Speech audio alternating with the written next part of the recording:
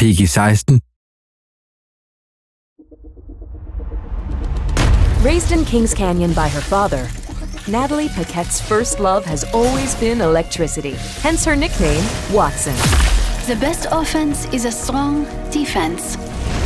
Her role is one of perimeter security, Planting fences. a master of directing the flow of battle. She uses her electric fences to create choke points That's the last time you charge anybody. And guide the engagements on her terms. Don't blow a fuse. Get it? Even when the firefight is intense, Taking fire. there is a calmness to Wattson. Size and strength aren't everything. Her interception pylon brings a respite to combat. You underestimated me. Sometimes careful planning wins out over might. earning her the reputation as the Eye of the Storm. This never gets any easier. But it's how the game works.